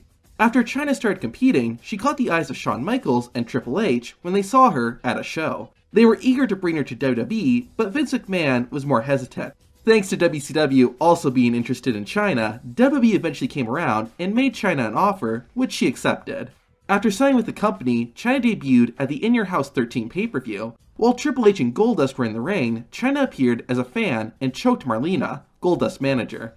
The ninth wonder of the world was eventually pulled away and taken out of the building. The next night, while Triple H, Goldust, and Marlena were in the ring, Chyna returned to finish what she started. She manhandled the Bizarre One's manager, but was eventually taken away by an army of security. Chyna would form an alliance with Triple H and became his bodyguard. While she didn't wrestle in any matches, the ninth wonder of the world was never afraid to get physical. While Chyna and the game worked well together, things got even better when the Heartbreak Kid was added to the group. During a match between Shawn Michaels and Mankind, Triple H and Chyna came out and watched the action from ringside. Eventually, Rick Rude joined them and attacked Mankind with a chair, allowing Michaels to win. This created one of WWE's best factions of all time, D-Generation X. Chyna's role stayed mostly the same, being the bodyguard for both Triple H and Shawn Michaels. She helped them win matches and participated in DX's many skits. While Chyna wasn't usually the main focus in any of the storylines, that changed in 1998. During DX's feud with the Nation of Domination, the leader of the nation, The Rock, demanded that Mark Henry kiss Chyna. Shawn Michaels made the save just in time, but the story didn't end there. About a month later, Triple H was in a match against Owen Hart. Chyna and X-Pac were in the corner of the Cerebral Assassin, while Mark Henry stood with Hart. Chyna tried to interfere in the match, leading to a fight on the outside, which ended with DX's bodyguard smacking the world's strongest man across the face. This caused Henry to grab a mic and challenge X-Pac and Chyna to a handicap match later that night. Chyna and X-Pac accepted, making this the first time Chyna would wrestle in a WWE match. Being accompanied by the man she had protected for over a year and a half, Chyna got ready for her first WWE match. The Ninth Wonder was more than willing to start as the legal participant, but the referee oddly made X-Pac begin the match with Henry. This is how crazy the Attitude Era was. Only seconds after the bell rang, other wrestlers started coming out from the back. However, this didn't stop Mark Henry from demolishing X-Pac in the ring. X-Pac's speed allowed him to stun his opponent and get the upper hand. Chyna, likely upset at the referee, decided to ignore the rules and joined X-Pac for an amazing double suplex on Henry. Unfortunately, X-Pac and Chyna's offense only kept the world's strongest man down for so long. The Nation of Domination member quickly returned to his destructive ways and laid out X-Pac. Thanks again to his speed, the DX member was able to outsmart Henry and tag out with Chyna. The crowd erupted as the ninth wonder of the world took Mark Henry down with a spear. Chyna connected once more with a powerful right hand and then tagged out with her partner. X-Pac picked up where Chyna left off and continued to build momentum. Chyna soon tagged back in, but was caught by another Nation of Domination member, D'Lo Brown. X-Pac took care of D'Lo, allowing Chyna to go to the top rope. Unfortunately, Henry countered Chyna's crossbody with a world's strongest slam and finished the match. As a debut, this worked well. Having it as a handicap match built up anticipation to see Chyna wrestle, and once she did tag in, the crowd came unglued. Chyna's limited time in the ring also didn't overexpose her either, so it made for a solid debut. As just a regular match, it was a little all over the place. Why did D'Lo Brown not walk out with Mark Henry? What was the point of having Jeff Jarrett there? Could Chyna seriously not take in at this point? On the positive side though, the double suplex looked awesome, and the finish was pretty cool too, even if it looked like Chyna's head was going to hit the mat for a second. While I have my criticisms, the crowd ate this matchup, so what do I know? Despite starting as enemies, Chyna eventually went on a date with Mark Henry and even became his on-screen girlfriend. As it turned out, the whole thing was planned by Chyna to play a mean trick on Henry. As the storyline ended, Chyna started becoming a legit competitor. She became the first woman to enter the Royal Rumble and the King of the Ring tournament all in the same year. Chyna's singles career really took off though when she broke up with Triple H. From there, Chyna would become the number one contender for the WWE Championship. While she ended up not competing for the title due to losing a match to Mankind, this is still a huge accomplishment. An even bigger accomplishment came at No Mercy when the Ninth Wonder of the World would defeat Jeff Jarrett to become the first and only female Intercontinental Champion. Chyna's career continued to be elevated when she feuded with Chris Jericho for the title. This created an infamous storyline where Chyna and Jericho became co-champions due to them pinning each other during a championship match. Jericho eventually became the solo champion when he defeated Chyna in a triple threat match at the 2000 Royal Rumble. Afterwards, Chyna got a new man by her side when she teamed up with Eddie Guerrero. The two were a hit with fans, with Guerrero calling Chyna his Mamacita. They wrestled Trish Stratus and the new Intercontinental Champion, Val Venis, in an intergender tag team match at SummerSlam. Since Chyna got the pin, she became the new IC Champion, although she would lose it two weeks later to, ironically, Eddie Guerrero. This and other incidents created tension between Chyna and Eddie. Their relationship officially came to an end when she caught Guerrero with two other women. At the same time, Chyna crossed over into the mainstream by appearing in Playboy magazine. This also turned into a storyline in WWE with the group Right to Censor. They took issue with Chyna being featured in the magazine and wanted to silence her. Chyna challenged one of the Right to Censor members, Ivory, who was also the women's champion, to a match at the 2001 Royal Rumble. As part of the story, Chyna injured her neck during the match and was out of action for a while. The ninth wonder of the world returned at WrestleMania 17 and destroyed Ivory, beating her in less than three minutes to win the women's championship. While winning the title was easy, Chyna's next challenger wasn't going down without a fight. Lita stepped up to the plate and challenged Chyna for the women's title at Judgment Day. Unbeknownst to anyone at the time, this would be the ninth wonder of the world's last match in WWE. Foreshadowing WWE Network's move to Peacock 20 years later with her attire, Chyna and Lita's first action was to give each other a hug. Thanks to her size and strength, Chyna outpowered her opponent in the early goings of the match. Lita quickly changed her strategy and tried to use her smaller size to outmaneuver Chyna. It worked well enough to counter a press slam into a pinfall, but not good enough to get the three count. Chyna showed off her villainous side by extending a hand and pulling Lita in for a roll up. It didn't end the match, but the Ninth Wonder of the World didn't give the Extreme Diva a chance to recover. Chyna began laying into Lita with fists and kicks to the ribs. Lita tried to stay alive, but couldn't keep up with Chyna's onslaught of offense. The tide finally changed, thanks to Lita turning an Irish whip into a DDT. With her opponent finally down, Lita desperately tried to keep her there. Lita's relentless attacks helped her wear down Chyna, but all it took was a single punch from the Ninth Wonder to knock Lita down to the mat. Chyna then hit a swinging neckbreaker and a power slam back to back, but it wasn't enough to put Lita away. Since she didn't execute it earlier, Chyna tried to hit Lita with a Gorilla Press Slam again, and this time was successful. While it knocked the wind out of Lita, she wasn't done yet, and matchlocked Chyna in a cross arm breaker. The strength wasn't there though, and Chyna managed to fight out of it and countered with head scissors. Like a fish, Lita managed to flop over to the ropes and broke Chyna's hold. Chyna then threw Lita's body like a doll across the ring. Lita still had one more trick up her sleeve and countered a powerbomb into a hurricanrana. While a good try, it wasn't enough to win the title, and Chyna finally put Lita out of her misery by getting the 1-2-3. Well, this match could have been worse. It felt like there were a number of sloppy moments where moves didn't really connect and or look fluent. Eddie Guerrero also showed up partway through the match, but he didn't do anything. I'm guessing it was to set up a storyline that ultimately didn't go anywhere. On the positive side, Lita looked good, but Chyna still appeared strong, so there is that. Had WWE known that this was going to be Chyna's last match, it would have been great to give Lita the win. There was kind of a David vs. Goliath battle going on, and the crowd sounded ready to pop had Lita gotten the three count. Looking at what we got, I think this is a slightly below average match. Not terrible, but not good. After Judgment Day, Chyna would not be seen in WWE.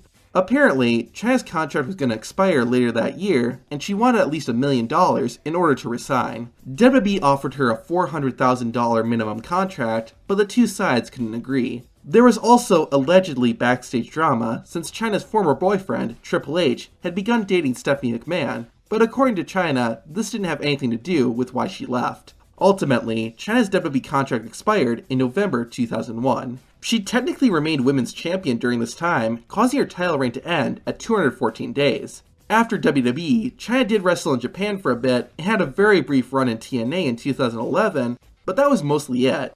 Chyna instead focused on acting in adult films and eventually moved to Japan to teach English. Tragically, on April 17, 2016, Chyna would die from overdosing on alcohol and anxiety drugs. Her body was found three days later in her home, and a memorial service was held a few weeks later. Born in Crawfordsville, Indiana, it was clear that James Hellwig was someone special. At the age of 11, the young warrior started lifting weights and eventually competed in bodybuilding competitions. He had an amazing physique and won a few awards. This got the attention of a man named Rick Bassman, who was putting together a team of wrestlers. The Warrior decided to join them, and it didn't take long for people to take notice. He, along with Steve Borden, who would later become Sting, got put into a tag team called the Freedom Fighters that eventually became the Blade Runners. Both men would experiment with face paint that would ultimately lead to their iconic looks. After being in a tag team for about a year, the Ultimate Warrior and Sting would split up. In the aftermath, Ultimate Warrior became known as the Dingo Warrior. He grew out his hair, and his popularity began to grow too. This got the attention of Vince McMahon, who brought Warrior to WWE in 1987. For the first couple of months, the Ultimate Warrior exclusively wrestled at non televised shows. That changed though on August 15th, 1987, when fans around the world would witness the Warrior for the first time. Still being called the Dingo Warrior, the Ultimate One made a pretty subdued entrance compared to how he would enter later on, although he did shake the ropes and nearly knocked off the ring announcer when he did it. Warrior's opponent was Barry Horowitz, who was sort of the Heath Slater of WWE in the 80s and 90s. Ultimate Warrior's first WWE match started with him sizing up Horowitz and demonstrating his strength by shoving his opponent around like a doll. Warrior really showed off his power by knocking Barry Horowitz out of the ring with a shoulder block. Once Horowitz got back inside the ropes, he tried knocking down the Ultimate Warrior again, but the future Hall of Famer continued to counter his shoulders and followed up with a hip toss. Barry Horowitz managed to execute a full Nelson submission hold, but Warrior used his butt to escape and countered with a full Nelson of his own. Barry freed himself from the hold with an interesting rope break, but he couldn't avoid Ultimate Warrior's chops. The momentum shifted when the Warrior accidentally ran himself into the turnbuckles, allowing Horowitz to begin dishing out stomps and punches. Ultimate Warrior made a comeback, but it was shut down when he missed a running elbow drop. Frustrations were starting to build, and after absorbing some more punishment, Warrior dodged a dropkick and started running wild. Barry Horowitz tried to stop it, but he got treated to a Gorilla Press Slam and the Warrior Splash, which was enough to get the pinfall and the victory. The Ultimate Dingo Warrior's first WWE match was nothing special, but I was surprised at the amount of offense Barry Horowitz got. It wasn't a ton, but more than I expected. As you saw, Warrior already had a lot of his trademark moves down. The only major thing left to change was his name. That would happen about two months later when the Ultimate Warrior would make his official WWE debut. He defeated a man named Terry Gibbs in under two minutes. This would become the norm for the Warrior. The man from parts unknown would begin picking up win after win after win. The first time Warrior didn't win a match in WWE was when he fought Rick Rude in early 1988 due to it ending in a double countout. As we'll see, this wasn't the last time Warrior had trouble with the Ravishing One. Ultimate Warrior would also be unsuccessful in that year's Royal Rumble match, but that didn't ruin his momentum. Quite the opposite. After the Rumble, Warrior got into his first feud when he took on Hercules. Instead of wrestling, Hercules challenged the Warrior to a tug of war with a chain. The Warrior took him up on it and actually snapped the chain in half. After the chain snapped, Hercules used it as a weapon, and the match ended in disqualification. It couldn't just end like that, though, so the Ultimate Warrior and Herc went one on one again at WrestleMania 4. The match was surprisingly close, with Warrior narrowly winning by getting his shoulders up at the last second. The two would have more matches a little later, where the Warrior won decisively. The Ultimate Warrior then began a bizarre feud with Hercules' manager, Bobby Heenan. Warrior and Heenan fought in not one, but three Loser Wears weasel suit matches. We unfortunately never got to see the Warrior wear the suit, but it kept him busy over the summer of 1988. Speaking of the summer, at SummerSlam that year, Brutus Beefcake was taken out of an Intercontinental Championship match against the champion, the Honky Tonk Man. The Ultimate Warrior took the spot, and in 27 seconds, he defeated Honky and won his first title in WWE. In the aftermath, the Ultimate Warrior faced Honky Tonk Man in a rematch. However, the Warrior lost via countout, which was the first time someone defeated the Ultimate Warrior in a one on one match. That was not the end of the Warrior and the Honky Tonk Man's rivalry, and they fought again in several matches for the Intercontinental Championship. However, they always ended in either countout or disqualification. This eventually led to a no DQ match where the Warrior finally got the decisive victory over the Guitar Man. although they would have a few more title matches till the end of the year. At the same time, Warrior and Honky captained five man Survivor Series teams that fought against each other. The Ultimate Warrior won by being the sole survivor for his team. At the 1989 Royal Rumble, Warrior faced off against Rick Rude in a pose off. The crowd gave the victory to the Intercontinental Champion, but Rude took matters into his own hands and attacked the Warrior from behind. This launched a rivalry between them, and things came to a head at WrestleMania 5. The Ultimate Warrior put the Intercontinental Championship on the line against Rick Rude, who was accompanied by the Warrior's old rival, Bobby Heenan. Heenan proved to be the X Factor, as he held the Ultimate One's legs down, allowing Rick Rude to become the first person to pin the Ultimate Warrior. Not only that, but Rick Rude also walked away with the championship around his waist. This added more fuel to the fire, and over the next several months, Warrior and Rude fought in several matches for the IC title. However, Rick Rude always managed to retain, whether it was from disqualification or countout. Finally, over four months after the WrestleMania match, The Ultimate Warrior and Rick Rude fought again at SummerSlam 1989. Thanks to some help from Roddy Piper, the Ultimate Warrior was able to win back the Intercontinental Championship. After Rick Rude, the Warrior began feuding with another member of Bobby Heenan's faction, Andre the Giant. They had a few matches, which the Warrior usually won via disqualification. Warrior's feud with Andre, as well as the entirety of Bobby Heenan's group, ended when Warrior led his team to victory at the 1989 Survivor Series.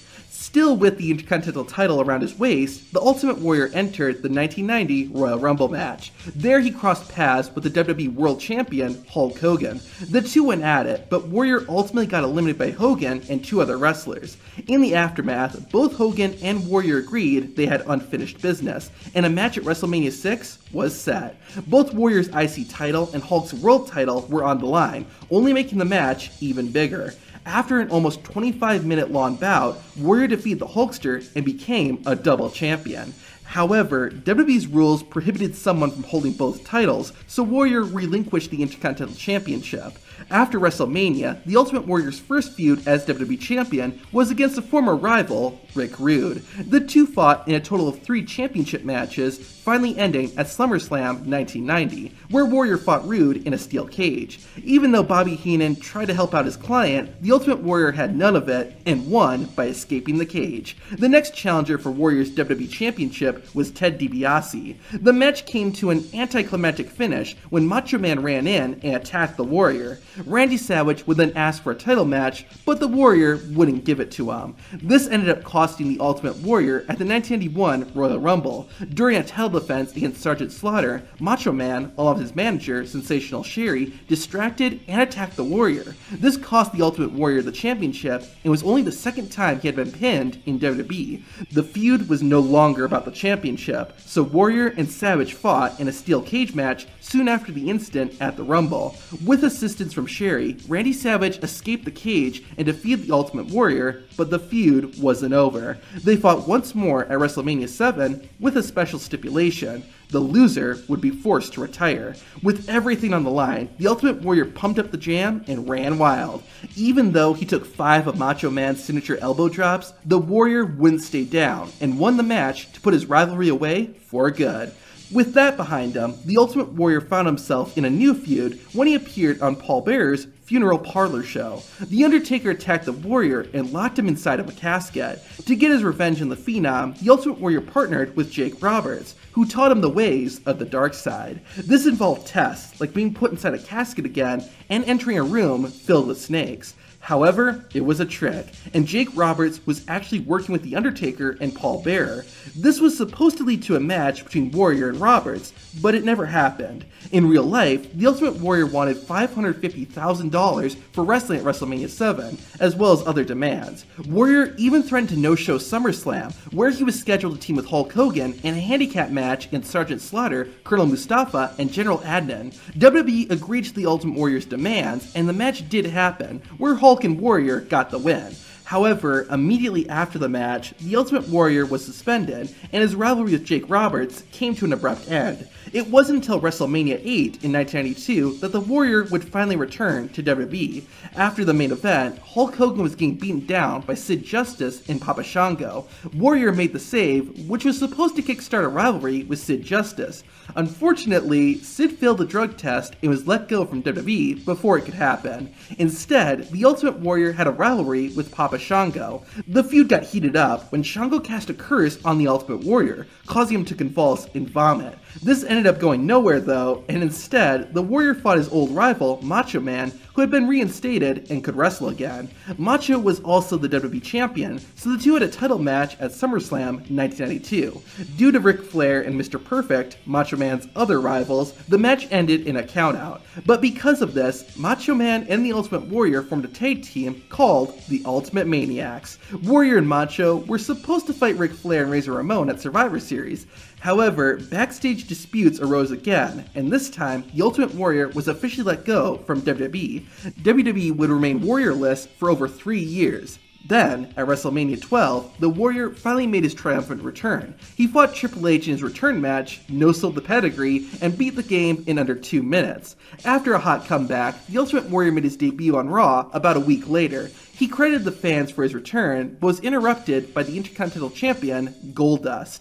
Warrior challenged Bizarro into a match for the title, and it was made so. The Ultimate Warrior fought for the gold at In Your House 7. While Warrior won, he did so via countout and did not become a three-time IC champion. About a month later, the Warrior got a rematch with Goldust, but it wasn't for the Intercontinental title. Instead, it was a qualifying match for the King of the Ring tournament.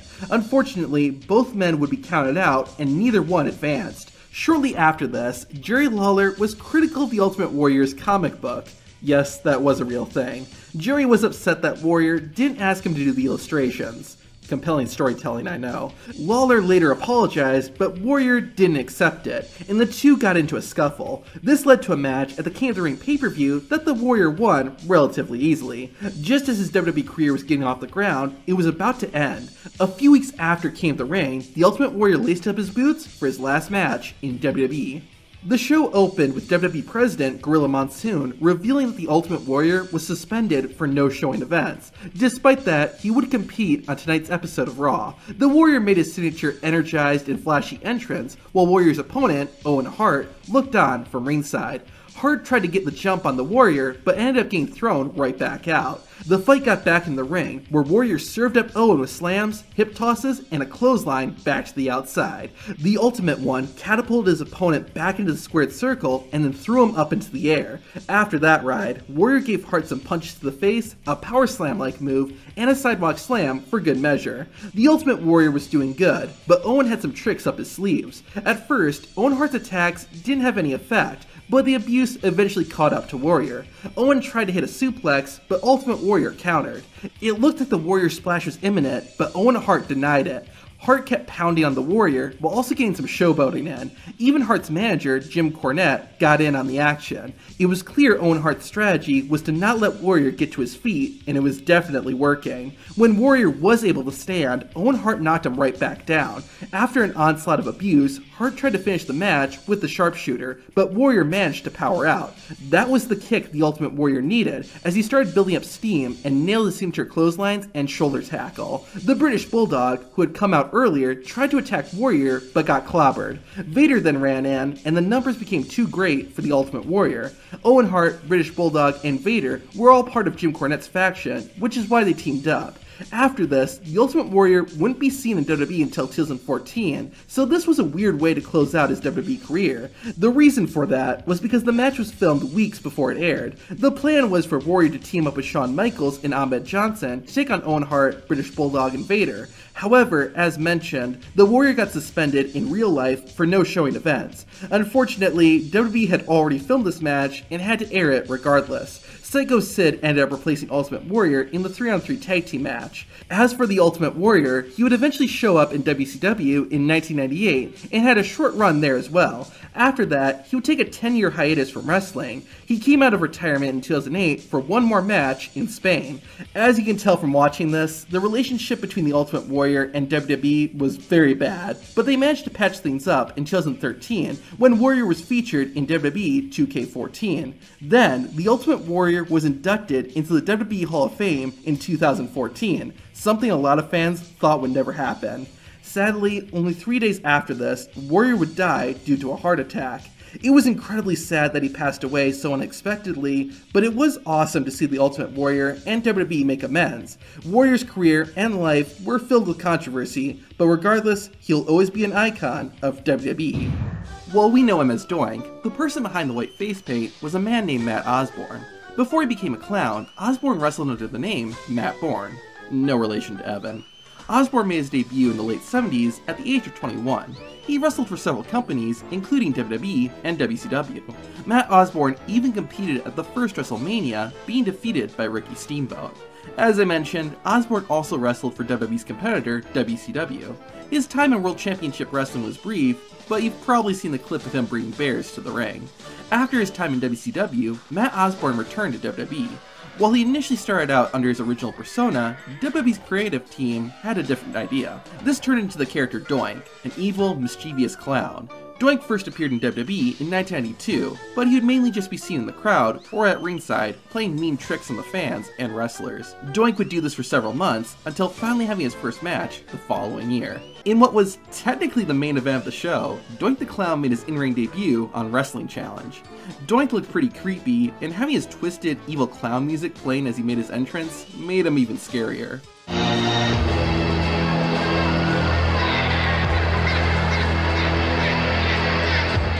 Despite his eerie appearance, Doink just smiled and laughed all the way to the ring. Wrestling a man named Bob East, Doink's first move once the match started was actually a fireman's carry, which he followed up with a half Boston crab. The clown kept twisting and bending his opponent's legs until finally letting go. Bob East tried to make the match competitive, but Doink instead gave him an enziguri to the face. While Doink locked East in another painful submission hold, a pre-recorded interview started playing, with Doink giving the WWE roster a warning. By the time the interview ended, Doink had released his hold and went for a dropkick. He then followed up with a snap suplex and then locked in another hold. Thanks to Bob East's shoulders being on the mat, the referee counted the pinfall and awarded the victory to Doink. While there wasn't a whole lot that happened, I was surprised how technical and athletic this match was. I figured with it being Doink that it would mostly be tricks and jokes and very few wrestling moves, but I was completely wrong. I actually kinda liked that. It showed that Doink was an actual wrestler who could hurt his opponents. To be honest, I think that made him even scarier. On top of being vicious in the ring, Doink was also pretty brutal outside of it. Shortly before his first match, Doink attacked Crush with a prosthetic arm. The injury was so bad that Crush is not able to compete in the Royal Rumble. Because of that, and because Doink was making kids cry, Crush faced off against the Clown at WrestleMania. During the fight, the referee got knocked out, and things got strange. A second Doink appeared from under the ring and used a prosthetic arm to attack Crush. With the help of his twin, the original Doink was able to beat Crush in his WrestleMania debut. Despite the victory, the Clowns weren't done with Crush. At the King of the Ring pay-per-view, Crush competed in an Intercontinental Championship match against Shawn Michaels. During the fight, the two Doinks came out and distracted Crush, causing him to lose the match and his opportunity at the title. With the rivalry still hot, Doink and Crush would have another match about a month later. Unfortunately, it ended in a countout win for Crush, and even then, the second Doink came out and attacked Crush after the match. Unfortunately, in real life, Crush suffered an injury and needed time off to recover, causing the feud to end abruptly. With Crush out of the picture, Doink would be hired by Jerry Lawler to replace the King in a match against Bret Hart. It looked like the Hitman was gonna win, but before Doink submitted, Lawler came in and attacked Hart. Despite the save, Doink and the King wouldn't stay allies for much longer. While being interviewed on the King's court, Doink decided to have some fun at Jerry Lawler's expense. This marked the end of the evil clown character, and Doink would start portraying a, well, not evil clown, if there is such a thing.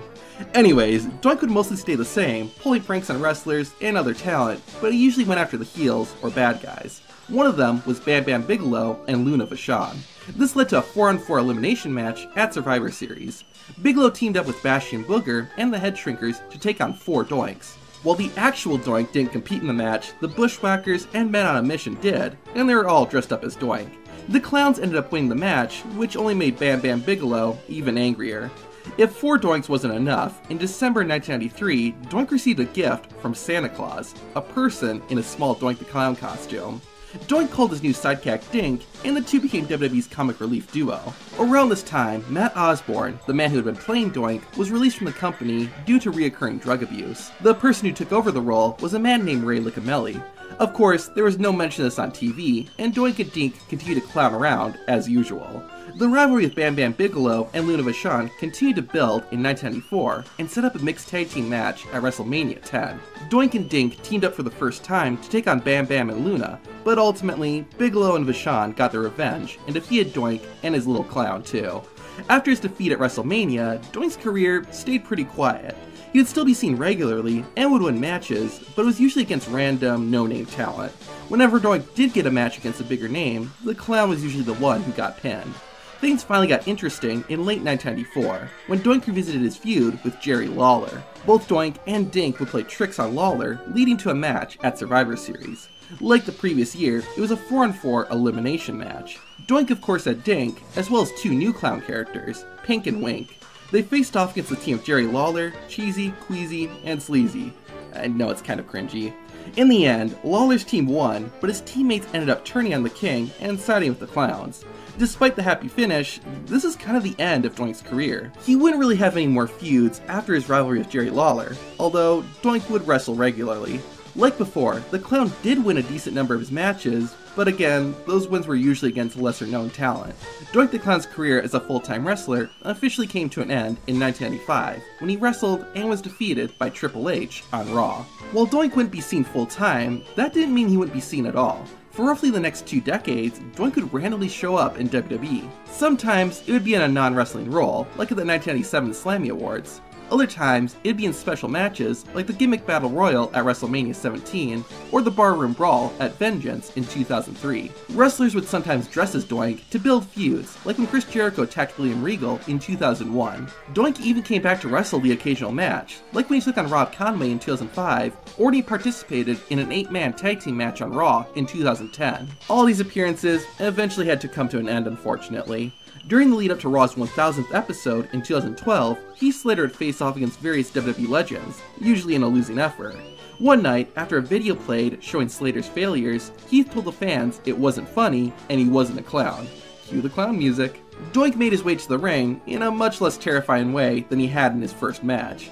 Once he got inside the ropes, the clown had some fun with the crowd before the bell sounded. Doink started off with a headlock, which he transitioned into a wrist lock, and then a simple slap to the face. The one-man band managed to take control though, thanks to a kick to the gut.